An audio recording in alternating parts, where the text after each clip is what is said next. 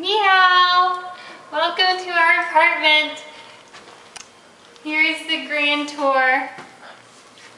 It's a, it's a studio, one space. Here's our bed, our AC, but not a heater. Our little workstation. We have to come. Workstation. I think this is pretty cool over here. It's where I keep my, my stuff to make me beautiful. Um, here's our view of the university. There's our gym. There's a swimming pool in there and uh, some weights, a tennis court on the top. And there are Americans or white people doing yoga and a man doing something in black jeans. I'm not really sure.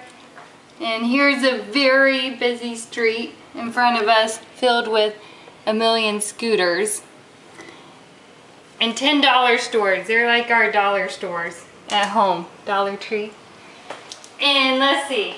We have to come all the way to Taiwan to get television over here. I think it has, what, three English channels? I think about that. And here's a few of our, our delicious fruits. We get at the traditional markets. Our extra small refrigerator. Hello, kitty. uh, this is how we clean the water because we can't drink it from the tap. You put it in there and it boils and then you pump it out. But we also have a very large water bucket where we can go fill it up places. Here's our kitchen. And here is our view.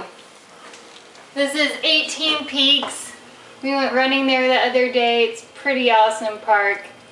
And if you can see it, there's mountain range in the distance. And we have not been there yet. But we will soon. Here's our, our squeaky sofa.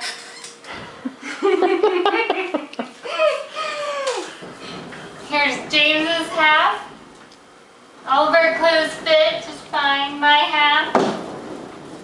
My pull-out mirror. Here. And then, let's see. Then all that's left is our bathroom.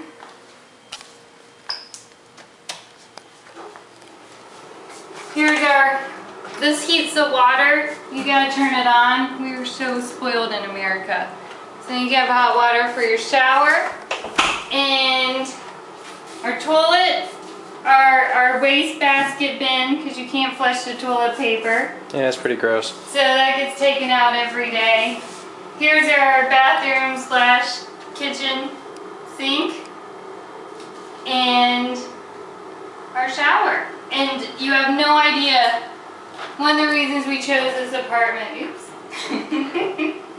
is because the the shower is actually enclosed. All the showers at the hotels we stayed at is just open. And so this is why there's drains in the bathroom floor, because the water just goes everywhere. And um, This was the only apartment we looked at that had an enclosed shower. They're all half showers and you have to like drain it in the bathroom. So this was, you know, it's nice to have be able to take a real shower. This was actually the most kitchen counter space you could get, and this was actually a pretty large refrigerator compared to the other ones. Um, none of the other ones had a gym.